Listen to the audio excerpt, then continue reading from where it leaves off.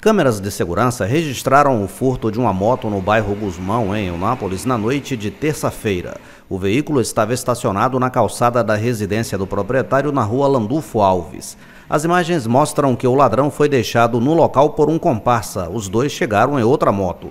O criminoso aproveitou que a direção do veículo estava destravada e o empurrou por vários metros. Mais à frente, ele, aparentemente utilizando uma chave micha, ligou a moto e fugiu com o parceiro. O proprietário, de 24 anos, só percebeu o furto quatro horas depois ao sair de casa para guardar a moto.